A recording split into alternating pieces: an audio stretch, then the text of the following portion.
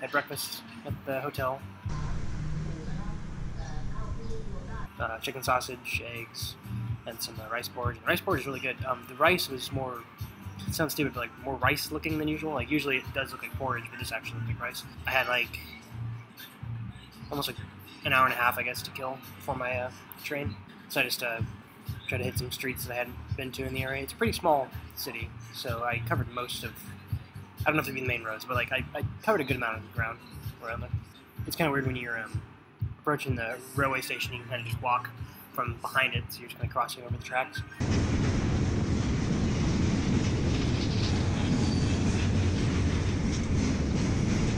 I was trying to find like a cafe or something, just something with air conditioning. Um, and then uh,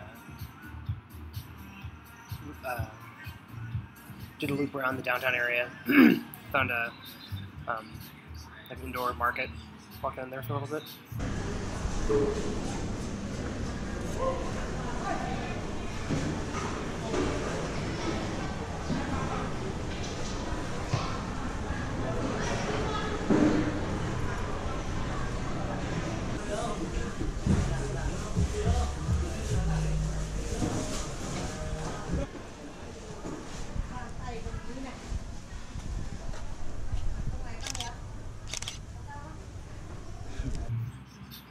Then um, near the station, there's this little tiny cafe.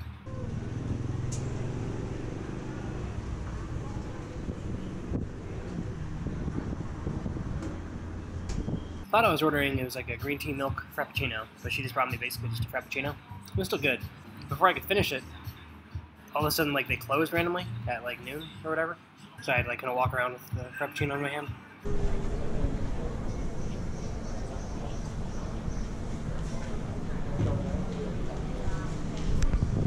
And then the train arrived.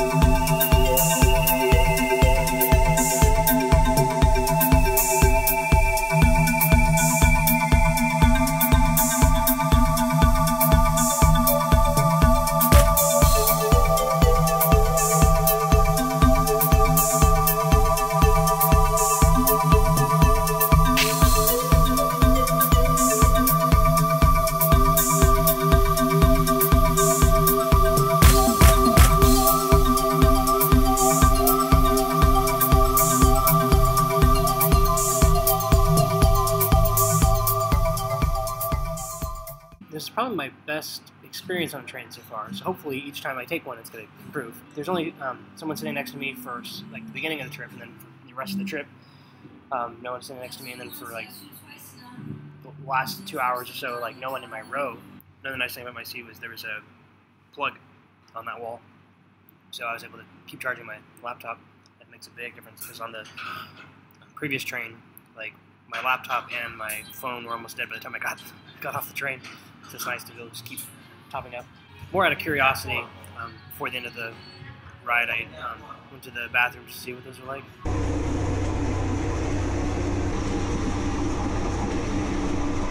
At one of the stops, I started hearing this like uh, woman crying out. It's like everyone's looking back. A woman uh, nearby explained that um, the woman, the other woman, is crying out that like the door had like shut on her finger. But apparently they they addressed it quickly enough. Um, but uh, yeah, so that was weird though, just like being in a train full of people looking back, panicked, and having no idea what's going on. The train stopped for a while, like in one of the last stops, and so it ended up um, getting to Chiang Mai like an hour late. So I was a little worried that I was going to uh, not be able to get into my hostel because at a certain point in the night they don't do check-ins anymore. Luckily, the um, receptionist is still there. This hostel's the most bare bones I've been to.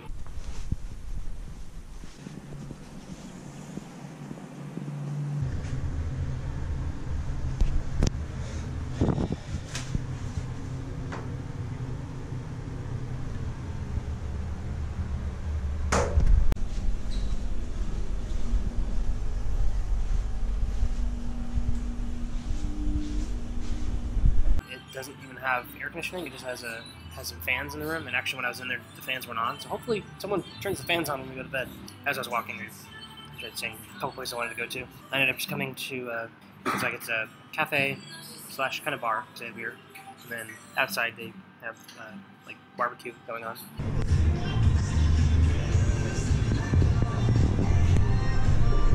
Beer is just like two bucks, and then they have these uh, skewers. This is uh, just mushrooms, and then there's not much left on it. This is uh, pork, and they're ten baht each, which is nothing. Um, and then uh, you get ten of these and you get a free one, but I'm not that hungry. Well, actually, I probably could eat some more, but um, I told them to make them spicy, so they're very spicy. I don't know if I want to have four more of these or five more of these. These are my this is my second round, but uh, it's very good.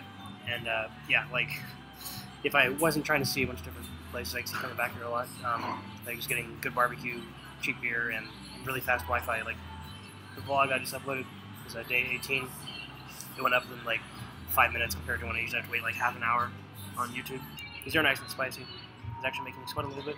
They're worried that I didn't like it. It's really good. I almost want to get another four. I'm gonna see how frugal, within reason, I could be in the next few days. Um, so I'm gonna be sticking mostly with hostels that are about four dollars.